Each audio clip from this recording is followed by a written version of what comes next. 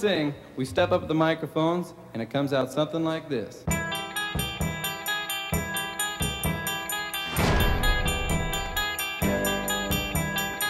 We came in the studios with Levi's and t-shirts, smoking cigarettes. The older guys were saying they're going to wreck the music business. In the hardcore producing area, everybody knew what went on there. I mean, everybody knew that the best musicians played in all the sessions, but we as the general public didn't know.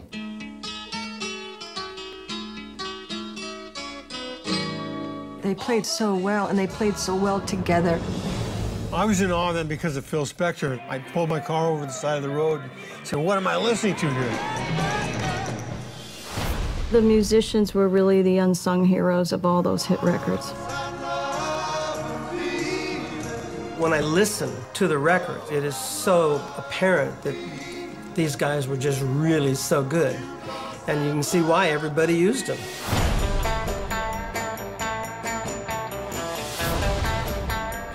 The Wrecking Crew was the focal point of the music. They were the ones with all the spirit and all the know-how. We made up a lot of arrangements ourselves. We would either augment or totally replace a group. The public was oblivious that there was this secret star maker machinery. I had no idea that people didn't play their own records until the Monkees came along. We were so busy. I was making more money than the President of the United States. Seven records of the year. It was unbelievable. Here's the way that the beat goes on sounded when we first heard it. La di da da da. Yeah, I said, uh-oh. The third line I came up with was.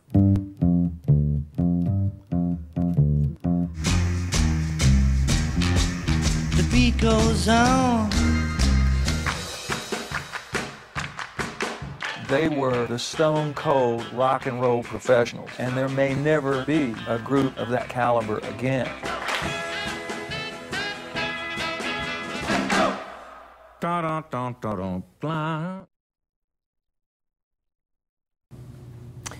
Hello, this is Niswander, and welcome to the Now Man Show. Uh, Denny Tedesco is a producer and director who grew up in Los Angeles and graduated from Loyola Marymount University.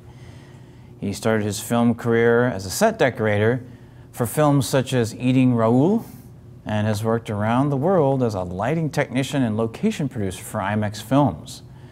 He conducts interviews for A&E Biography, TV Land, and Comedy Central. For over a decade now, he's produced commercials, videos, and promos, including the 2000 Academy Awards opening segment with Billy Crystal and the Elton John music video, I Want Love, starring Robert Downey Jr. In 2014, he released his documentary, The Wrecking Crew, about the great session players, including his father, Tommy Tedesco, and the rest of the crew that created the music behind the Beach Boys, Frank Sinatra, Elvis Presley, the Monkees, TV show theme songs, and so much more. Denny Tedesco, welcome to the Thank Now you. Man Show. Thank you. Um, now, you grew up in a household with a father who was a world-class session musician. I did, but you know, it was just like any other dad. Yeah. I mean, everybody assumes it was like a hoot nanny at our house. You know, a lot of music and yeah. you know, rock and roll and all that. But the truth is, Dad just went to work like everybody else. He, uh, I didn't see. I was born in '61, so mm-hmm. I didn't see my dad play guitar at home for himself until 74, 75. Really? Maybe even 76, because he wow. did jazz albums then. Because he was going to work when we were kids. He was going to work 10, 12, 14 hours a day just playing. So he didn't need to practice. So when he got home, it was, you know, be with the kids, be with the family, watch football, yeah. card game, or whatever it was, but it wasn't music. So I, I, had a different life than other people think I did. Yeah, yeah. Did, did, did you want to play music? Oh, yeah. Oh, yeah. yeah. I wanted to play a lot of music. I, I, uh, I could have been a one man band with all the things I took uh, guitar, piano, saxophone at Notre Dame High School. That was to get out of typing class. Uh, never actually played with the band. Uh, accordion, I quit that too. No, I'm a quitter. You're a quitter. I was a quitter. I can't play an instrument now. So what? So what made you uh, actually want to get into the film business? Um, that's interesting. I, when I was in high school at Notre Dame in Sherman Oaks, I uh, I got cast in a uh, Pizza Hut commercial. so uh, that was my uh, touch of uh, acting, and you know, thought I wanted to go that way. And um, did that, and it was fun. And I was doing plays, and then I went to um, Loyola Marymount for production, and I wanted to be a writer there. I was trying to write scripts, and you know, wrote a few scripts, and you know, optioned one, but I wasn't a writer. It was, Mm. you know, same thing with uh, musicians. You have to do it every day. Mhm, If mhm, you don't have that love of doing it every day, a writer needs to write every day. A, uh, a musician plays every day, Mhm, mhm. whether or not you know, but they have to do it, and I, that wasn't me. So um, this is actually the Wrecking Crew. I started in '96. You know the story about my father and his friends, Mhm, mhm. and um, it wasn't until this year that we got it out. Wow. So there's part of that is the back backstory of quitting all those other things. I thought I can't quit this. And eventually you knew you would get to that story. Yeah. So at the beginning, um, you became a, a location manager. Well, I was actually gripping and lighting at the Mm-hmm. time, and uh, IMAX films when I started doing that. I did that for a few years, and then uh, '96, my dad was diagnosed with cancer, and it was terminal cancer, and I was, and I just remember them saying he doesn't have much time, and I wanted to do something about the crew, Mhm, and so we mhm. quickly put together a round table like this, and uh, just started shooting, and um, it was a wonderful, um, wonderful day. So um, when you, to get back, before we go on to the Wrecking Crew, yeah.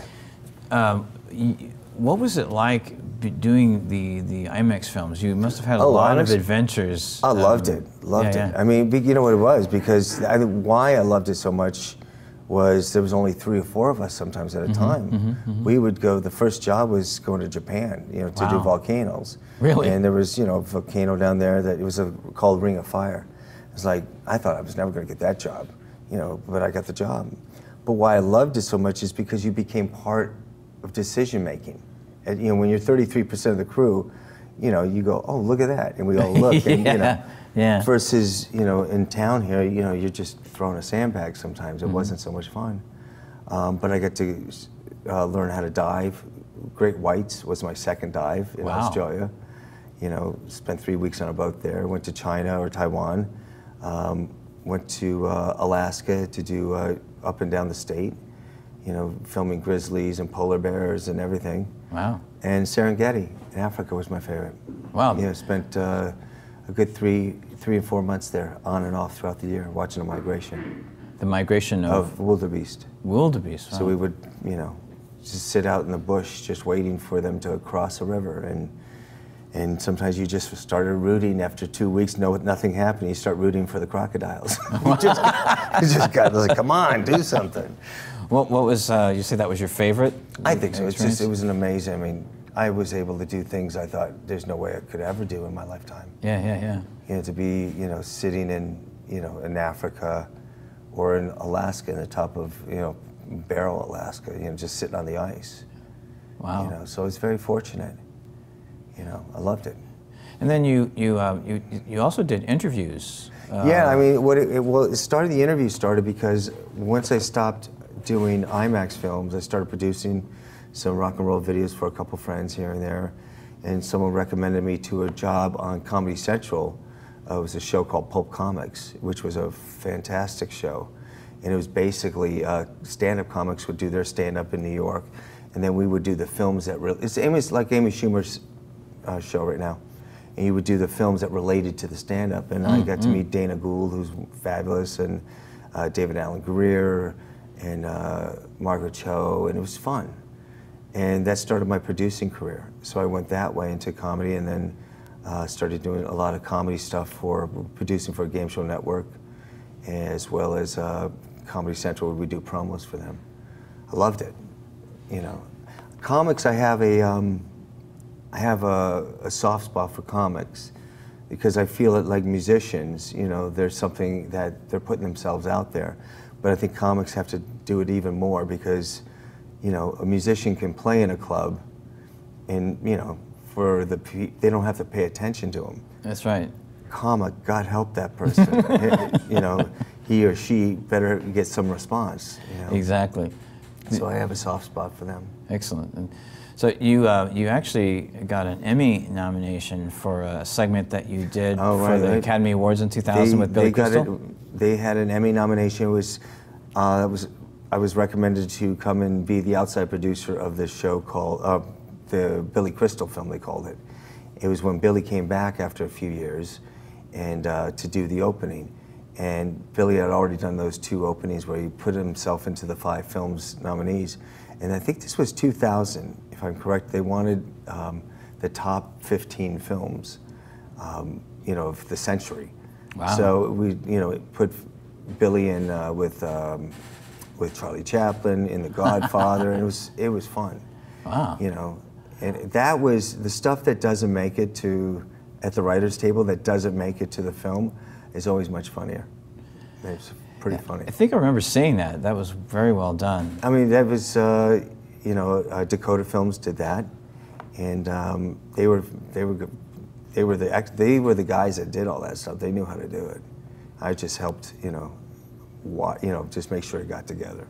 What was it like working with Elton John and Robert Downey I didn't Jr.? work with Elton. Oh, you that, didn't? No, it was interesting. Uh, the Elton John video, uh, again, was one of those jobs where it came out of nowhere. It was a recommendation. Somebody from England called, said, um, it was somebody we knew, said, hey, can you, it's Thursday, can you cover me on a producing job on Tuesday? I said, sure, what is it? Well, it's um, Elton John video. I said, oh, well, wow, that's great, but Elton's not in it. Okay. And then she went on to say, I said, well, is it prepped? Is it ready to go? She goes, no. I said, but it shoots on Tuesday. and it was basically, the story is it's one shot from beginning to end. And she says, it's all it is, is just one shot. You know, the actor is going to sing to the part. I said, who's the actor? And she said, Robert Downey Jr. I said, Robert's in jail right now. He's in rehab. I mean, you know, just after Ally McBeal. yeah. And she goes, well, they're going to let him out for this. I said, oh, no. And it's great, but it's like, are you kidding me? We had to prep and shoot that in uh, literally three days, had to get it together. And it worked out. It was one of the most, uh, if you get a chance, listen to that song. It's, it's um, gut wrenching because it's, especially with Robert's lip sync in it, you believe he's singing it. It's a beautiful song. Interesting. Yeah. Yep. Now, um, when we come back, we're going to talk about uh, the Wrecking Crew. Sure. So we're going to take a little break, and we'll be right back. Oh, this is Now Man. I am the superhero of the present moment and the host of the Now Man Show. I'm Andrew Keegan, and when I'm in LA, I watch The Now Man Show. We have all kinds of interesting stuff education, Think about it. entertainment, Hi, my name is Erika Podest, and I'm a scientist at NASA's Jet Propulsion Laboratory. And next time I'm in Pasadena, I'll be checking out the Now Man Show. Music, film. Get down, get funky. Hi, my name is Philippe Carrillo. I'm a filmmaker, and each time I'm in Los Angeles, I'm watching the Now Man Show. We're on location. Hi, I'm John Fugelsang, and when I'm in LA, I like to buy lots of shoes and not walk anyplace. But also, I like to watch the Now Man show because it is better than the best show on all of TV. The Now Man Show is also on YouTube. Now! All right, back here with uh, Denny Tedesco. As uh, we mentioned earlier, uh, his father, Tommy Tedesco, was an acclaimed studio session musician. Um, and you did a film called The Wrecking Crew, which you produced, co produced, I should say, and directed, correct? Right. Uh, and now it's in, in theaters, it's getting outstanding reviews. It's actually an award winning documentary. Congratulations. Thank you. Absolutely, I love it. And so we're going to watch an outtake right now to start this conversation with Leon Russell talking about working with George Harrison. I was playing on one of George Harrison's records one day, and we were in a, in take 168. And I went up to him and said, George, do you want me to play the same thing 168 times, or do you want me to play 168 different things? This just drive me crazy. I didn't I didn't like to do that. But some people, I mean, he was overdubbing on on my wedding album. I had one of his songs on there. He just played a guitar solo, and it was great. I said, well, that's good. He said, oh, no, that's not quite good. Let me play it again. So he played, I had a 40 track machine, and he played 25 more solos. I kept all of them. We got to the end of solo 25, and I said, well, George, listen to this one, see what you think.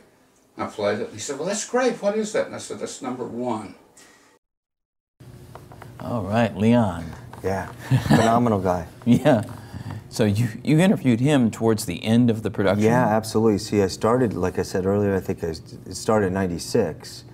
What happened was when we started this film, um, I tried everywhere to try to get funding. Mm -hmm, you know, mm -hmm. in 1998, Dad died in 97, so I kept going with this 14 minute piece. And everybody said, This is great, but you'll never get it made. And they said two reasons. One, you're never going to get the publishers and the record companies to come together to be part of this. Mm -hmm, mm -hmm. And second of all, the um, cost it will be for the music itself will be much higher than a documentary could ever make. So that's a lost cause. So I had to keep on going for, it was about 10 years, and my wife finally figured out, well, she didn't figure out, we knew, did we just make the most expensive home movie ever? Mm -hmm, and uh, it was like, what do we do? And I described it as having a property overlooking this wonderful beach and you have nothing but the property. You have the plans, you have the appliances, uh, uh, you know, everything, but you can't, until you build it, you have no idea if you can sell it. So we got uh, Claire Scanlon, who's a wonderful editor, and now she's a director on TV. She came on and she helped, you know, she uh, edited it and helped me produce it. And um, so 2008, we got into the festivals. Did extremely well, but no one would touch us because we still had at least $700,000 worth of, you know, uh, licensing. And I just had to keep on going. No one, you know, finally it was 2010, we started doing donations. Mm. We came up with donation ideas. If you uh, uh, pick a song in the film, you could, for $1,000, you could put a dedication on it. And Correct. that started it. So it was like putting a name on, into a building. And we raised uh, over half a million dollars wow. between you know five dollars, ten dollars, up to fifty thousand dollars. You know, people helped out, but it took many years, and um, you know, I'm really proud of it. And then Leon, we interviewed Leon uh, in 2012, I think it was. You know, so the film had already done the festivals, but I was still hoping to get this released. And when we did Kickstarter, which was our last thing we did in 2013 which was to raise money to pay off the musicians union, which they got paid. Mm -hmm, mm -hmm, um, mm -hmm. We were able to use the money, some of the money, to add Leon's interview in. That's excellent. It's phenomenal. I mean, Leon, people don't realize, Leon and Glen Campbell were two of the greatest session players of all time. Yes. But, you know, they were the only ones really that became stars. Exactly. You know, went on their own. And Leon was like Leon. He just says it like it is. He was, you know, I asked him, I said, um, I said, were you ever bored? He said, oh, I was bored all the time. Yeah, yeah he was bored he all the he time. He says, I'd be sitting there doing the tracks and there's no lyrics. You know, we're just yeah. doing the tracks. He says, yeah. after the 10th time I've got it memorized in my head, he says, I start writing lyrics in my head exactly. of what this song, maybe it was going to be, you know, a Sonny and Cher song, but he's writing his own lyrics. Exactly. So. And, and your father, uh, Tommy yeah. Tedesco, was described by Guitar Players uh, magazine as possibly the most recorded guitars in yeah. history, right? I mean, yeah, one time it probably could have been, yeah. Because, you know, Dad had a specialty. He was a session player. Um, when I say that, I mean because he could play multiple instruments. Mm -hmm. He would do, um, he could play uh, mandolin, a bouzouki, banjo, um, sitar, sit, ukulele. Sitar. Yeah, electric sitar. Electric right, sitar. Yeah. Um, ukulele. It didn't matter. He said if it had a string, I'll play it. as long as I, he said, I tune it, and I'm not a guitar player, but guitar players understand. I tune every instrument like a guitar. You know, he said if I could tune a shovel like a guitar, I will. Wow. You know, and the reason was then he knew where he was on the fretboard. So if he's, you know, if he said, I, listen, it's not the traditional tuning, mm -hmm. but how am I going to tell John Williams if I'm lost because I'm traditional tuning, and I'm lost? How am I going to tell him, but it's right? it's not right. It doesn't sound right. exactly. So his job is to get it right. How did he inspire you, would you say? You know, it's funny because people assume I play and I don't, as we said. Um, he inspired me how he treated so many people. Uh, he inspired me, you know, people tell me stories about him that were phenomenal. Um, he inspired me uh, to never give up and really be smart about how things went, if you- to read a room. He could read the room better than anybody. And uh, I think that's what kept me alive for 19 years making this. Wow. You know, he said, never blow up on the leader, meaning like, hey, you could be 110% right about the argument going on, but you blow up on the guy, he's not going to bring you back the next day. And those, that kept me straight for those 19 years when I was negotiating with labels and publishers or whoever. You know, because guess what? You know, six years later or 10 years later, I'm talking to that person again. Exactly. You know, so we, luckily I never lost it. And then when, once it was in film festivals, it started getting, getting traction, right? So Yeah, well, it got traction, but it was a, a darling. That's all it was, was the darling of the music community, darling of uh, Mhm. festivals. But it didn't mean anything because no one would touch us. Mhm, Literally, it wasn't until I called Magnolia and said, hey, we're paid up. And they said, oh, really? Yeah. Because no one knew it. They, people thought it was out. And it changed from the original as well. So there was a lot of changes that came And out. didn't Claire uh, say, who is your editor and uh, and co-producer, didn't she say at one point like, "S- stop interviewing people? Yeah, well, that was that was one of the things that Claire said when she came on, and you know, because don't forget, I had already done ten years, Mhm, and I was still interviewing people. She said, "You can't keep interviewing people." I said, "But," and she and she was right. She said, "You can't put everybody into this." I said, "I know, but because you'll never fall in love with these characters. You need to know who these are." Um, and I said, but that's why God gave us DVDs. I said, I will put it on the DVD somehow. And even a couple days ago, I uh, interviewed Bobby Hart of Boyce and Hart. Oh, wow. I Great. just feel it's historically, I want these things down, even if it's, you know, for YouTube or whatever. If I have a chance to talk to someone, let's put it on. And while these people are still here, uh, get them on film. Yeah, know, and I was you can always do additional films. and Exactly, Part you two, know- part three, or however many you need to we'll do. see about that. Uh, but I was really happy because I wanted the voices. I wanted their voices. Uh, on the DVD, there's six hours of extra bonus material, which I had to beg Magnolia to do. And it was like they have we have Petula Clark, uh, there's uh, Richard Carpenter, Bill Medley, uh, Barry McGuire, James Burton, um, all, many of the other artists in it, engineers chapter. There's a producers chapter. Well, let's finish this segment Sure. with uh, a clip. Okay. That uh, actually has your father in it, and uh, Leon Russell is is uh, telling. Uh, well, actually, everybody else is telling Telling the Leon story, and he's verifying it. Uh, So- I know the story. you know what? And it's funny because I never heard this story until Cher and Leon told it. Wow. And I wish my father was around to I w- just to ask those questions, like what happened. Yeah, exactly. And. I never heard it until then. And here, there, here's the clip with Leon Russell uh, talking about a session. Can you name the piano player in all of these songs?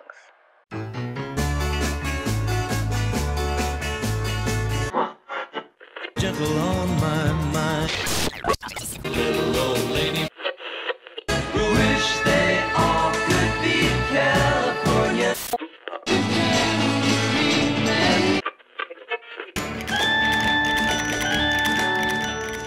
When I was playing as a sideman, I kept my mouth shut. I didn't say anything to anybody about anything unless I happened to know the arranger or the producer. Then I'd say something if I had an idea. But normally I didn't know anybody, and I just kept my mouth shut. He had that magic touch on the piano.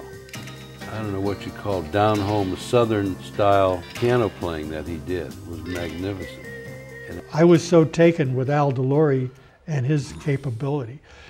And he put Al, later on, he put Al playing electric piano, which was just a fill kind of, I mean, just something to fill up the sound, with Leon Russell playing the acoustic piano. And I said, gee, you know, I thought Al was great. And he says, no, Leon Russell, man, he's got hands. He can reach octaves Yeah, with right. his, you can't, you can't beat that. I figured out early on that if I wanted to be heard on the record, I had to play high. So I always played high. And all those high parts on those Phil's records, it's me. I did that so I could be heard. If you don't do that, you get lost, you know, in the wall, so to speak. Leo never said boo to anybody, you know, he just come in, play his piano, you know. And so one day he came to work completely, completely drunk. I mean, so drunk, so drunk. And he went in and he sat down at the piano and he and, and who was playing next to him? Don Randi, I think. And everybody, I mean, he was actually talking. He never spoke. And everybody was like coming in. Did you see? Did you see Leon? Did you see Leon? And so everyone was like just looking at him, you know. And he was being really funny too, because I never heard him say a word. So Philip was like totally knocked out. But then finally, he wanted the session to begin, you know. And and Leon was just doing, you know, all this kind of crazy stuff. And so Philip said, you know, Leon, have you ever heard of the word respect?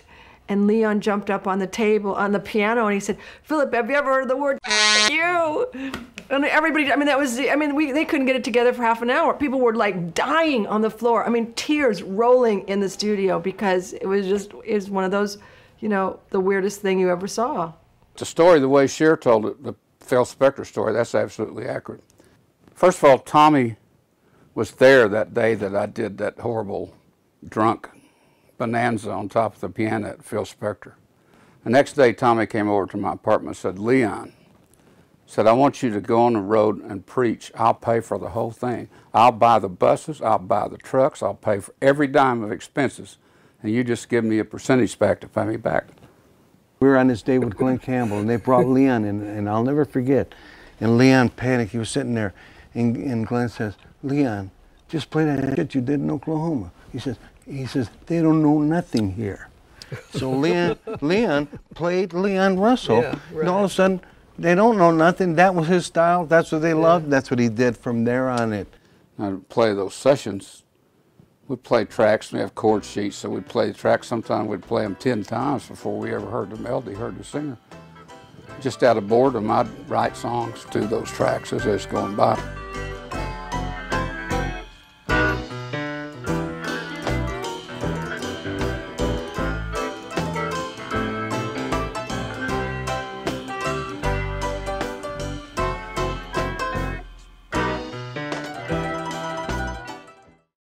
You know, those are the surprises I didn't know about over the, you know, 19 years of making the film. Things like that I loved.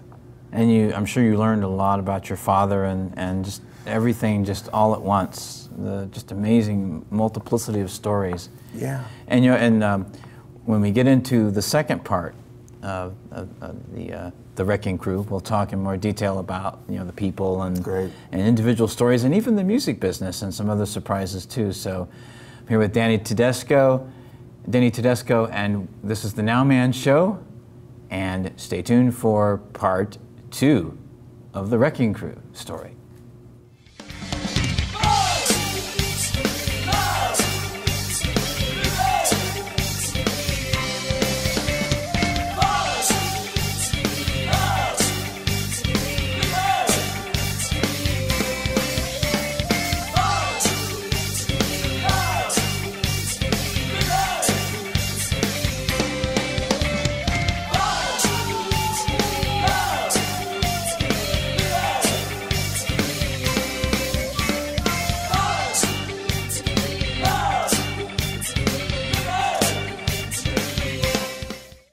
Glen Campbell said, he says, I was playing with uh, Michael Jordan, but everybody in the room was a Michael Jordan. Yes. They were like, boom, boom, boom, boom, boom, boom, you know, countdown, let's get it out. Phil Spector's Wall of Sound. Yeah. You know, you got Jan and Dean using the guys. Jan and Dean turns them on to Brian Wilson.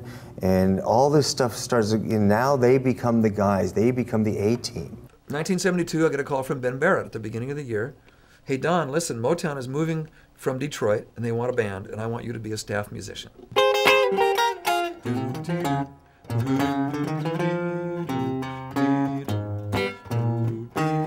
They had a big act in those days called Martin Denny.